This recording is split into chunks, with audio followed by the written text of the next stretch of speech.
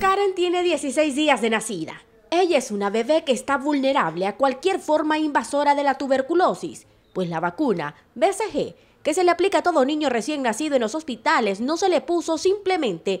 Le dijeron a su madre que no había. No tenían en ninguna parte y me dijeron que estuviera yendo a preguntar. Ella vive en una zona rural de San Bartolo, camina un largo trayecto con su bebé en brazos, en plena dieta, en busca de la vacuna de su hija, pues le preocupa que esté propensa a cualquier enfermedad. Sí, porque dicen que es la más importante. Y ahorita no hay, no sé si va a haber. Pero usted, y si no se la pusieron en el ministerio, ¿qué, qué, qué pensaba hacer? Nada, el papá dice que así va a quedar sin ponerse, le dice, si no hay. Su tío la acompañó en varias ocasiones en busca de la vacuna y también está preocupado por lo que le pueda pasar a su sobrina. Pienso que debían de, preocuparse más, porque sí, este, los niños, más hoy en estos tiempos, las enfermedades que están dando, entonces ellos debían de, de, estar más al día. Pues.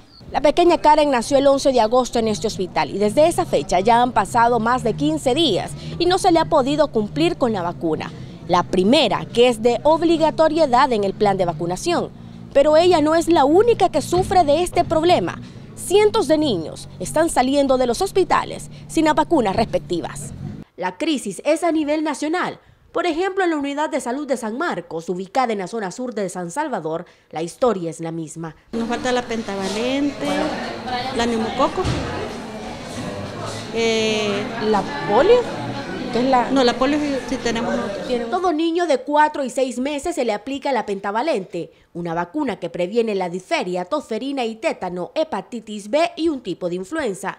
Pero en las unidades están aplicando una equivalente que es la DPT, que solo incluye disferia, toferina y tétano. Otra de las vacunas que no se está aplicando es la del neumococo, que previene la meningitis, neumonía y la otitis media. A los bebés que llegan a control de niños sanos y no se les cumple con el plan de vacunación por falta de medicamento, se le está llevando un control. Entonces lo que se está haciendo, se están, se están eh, preguntando las direcciones exactas, a lo más venir, este, nos dejan los teléfonos, nosotros los vamos a citar o los vamos a visitar.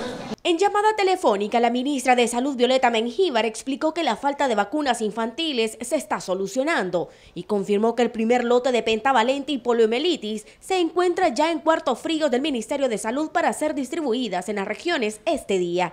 Sobre la vacuna del neumococo, explicó que el primer lote llega el 2 de septiembre. Melidra Niva, Telenoticia 21.